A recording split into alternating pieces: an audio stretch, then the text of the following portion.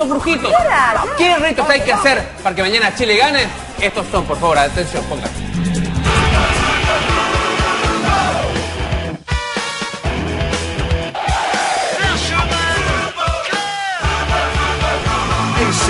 Hacemos sonar tres veces antes del juego, de preferencia, apenas termine el himno, que está todos con esta energía, hacer sonar tres veces para traer las buenas vibras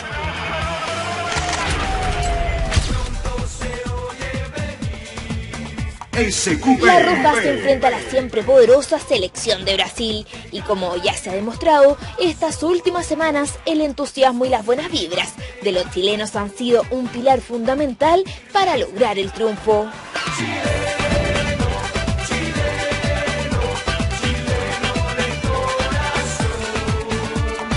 Es por eso que esta vez como SQP quisimos conocer nuevas formas de enviar buenas vibras a nuestra selección desde la tribuna del hogar. Fue así como en la búsqueda de cábalas llegamos a manos de nuestros psíquicos para que finalmente los dirigidos por San Paoli logren el triunfo frente a la selección del país de la samba. Pero, ¿qué nos dirán nuestros brujos brasileros? En primer lugar, yo recomiendo que cuando tú vas a ver el juego, si tú vas a ver en la sala, en el dormitorio, en la casa de amigos, familiares, lo primero que tiene que hacer es entrar en la casa o en la, la habitación, tiene que entrar con el pie derecho, marcar fuerte el pie derecho y mentalizando que Chile está entrando en la cancha con el pie derecho.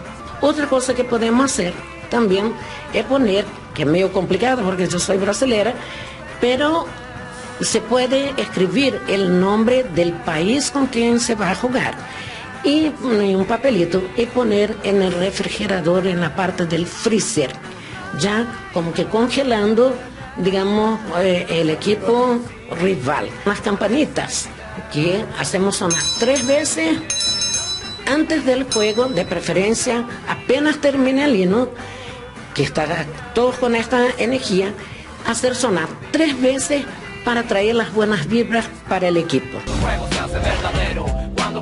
La cinta roja en la muñeca, las tres campanadas antes del inicio del partido.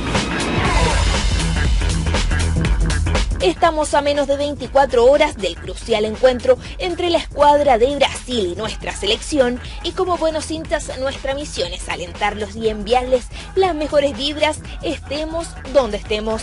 Así que chilenos de corazón, no duden en escuchar los consejos de nuestros brujos porque no está de más intentarlos por nuestra selección.